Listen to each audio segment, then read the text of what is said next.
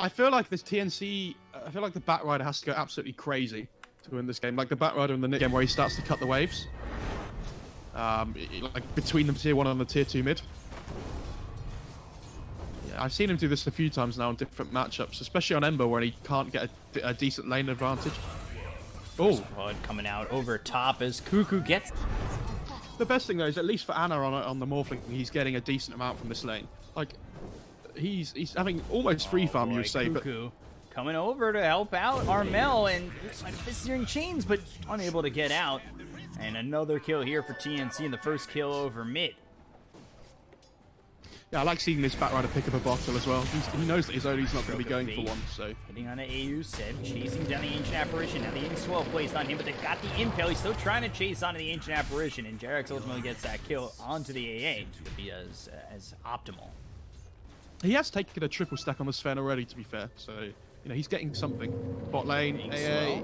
AU trying to get out of this one, turns back, and it's because Gabby's here, but well, Gabby unable to save the life of this ancient oh, apparition. However, they are converging on this bottom lane. A two-man stun from Tims. The Stormhammer to follow it up. Look at the kill on a Jerax.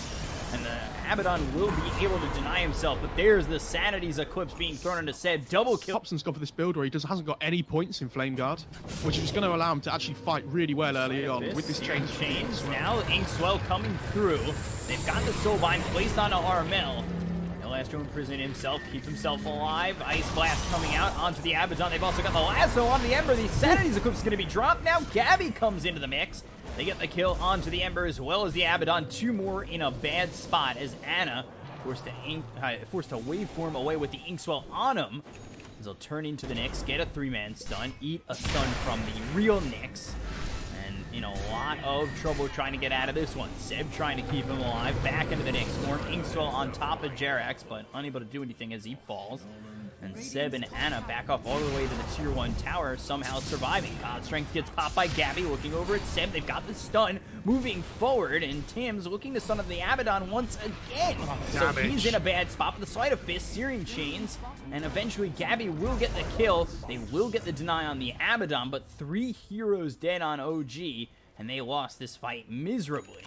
Oh, Sleight of Fist, I mean, Chains maybe get one in return, but there's the Vendetta. Sleight of Fist again, not going to be enough. Remnants over, still trying to kill the Abaddon.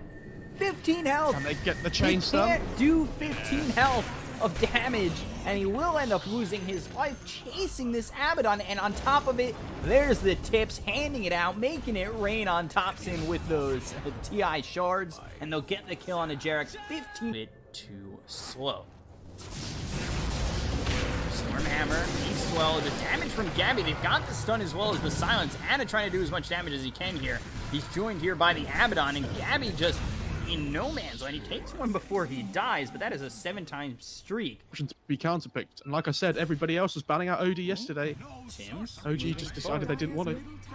Looking over at Jerax, they've got the Euls. They'll look for the stun. The Impale will land. The right click's coming through. They've also got the lasso. That'll hit on a Topson. There's a two-man Ice Blast. The ulti's going to be popped here by Seb. They'll get the kill on Jerax. They'll Remnant away, trying to get out of the hands of TNC, into the hands of Armel. Ends up going down to Kuku. The BKB's been popped by Gabby, and Ana forced to... So well this game. When he gets that online, all of a sudden this E-Blade on the Morph can't even do anything to the OD anymore. Like, he's going to be completely untouchable in that BKB duration when he oh. God strength, ice blast oh, coming in, and Seb's gonna end up dying. He's a lot Seb of the sustain here for OG, and then Topson, he's the victim next.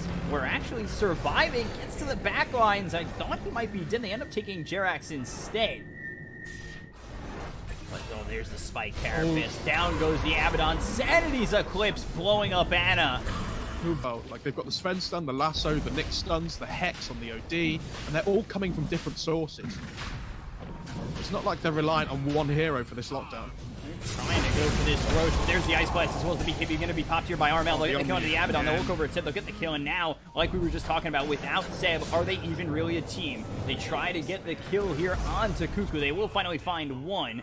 Jerax running away from Armel, who is silenced for the moment. But while that's happening, Anna will be taking a ride against this TNC squad, trying to survive, gets impaled. Armel finally finishes off Jerax, who got, does get soulbound. Well, the soulbound?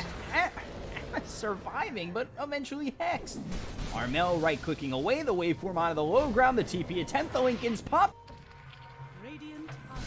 Silence on Armel, stroke of fate, then the remnant behind. They were working with Tims. They've got the Soulbind, so this is setting up quite nicely for OG. It's the best it's set up so far, but the two-man stun comes out from Tims. He's got that and this He's able to survive. The Sanity's Eclipse is going to be dropped down. Look at the kill on the save. They look over at the Abaddon, getting right clicked by Armel, looking forward for even more. They've got the Euls here on a Jerax. Slight if this comes out, but they'll grab another one. Three heroes dead. They'll continue on to the base. They'll morph into the Nyx Assassin, pop the Spike Carapace. It'll stun up Tims. Waveform over to the left. There's the E-Blade. Trying to survive, trying to make a play happen here with not much help from Topson. Finally pops the Aegis, so it's something. Anna still alive, but everybody's here. He turns into the Nyx again and stuns them up.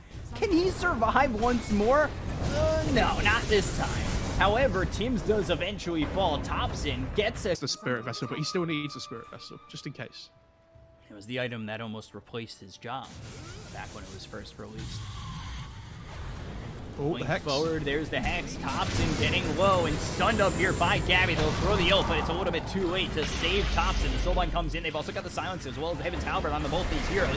Astral Imprisonment staying alive. Seb without any mana. He's got the Aphotic Shield on him, and he is quite tanky. The BKB is going to be popped here by Armel. He's moving forward. There's the lasso. They get the kill on the Jerax. Topson trying to do something, but hexed up. Triple kill for Gabby, looking for it all. Seb still alive. Ultra Give kill. Can it be the rampage. Give it to him. Give it to this man. Armel, come on. Are you kidding me? Come on. GG is called How by OG. steal that away? TNC get the game. We're going to a game three. Oh, Gabby manages to get to the secret shop to buy his AC before the game ends. That's, uh. That's a big break.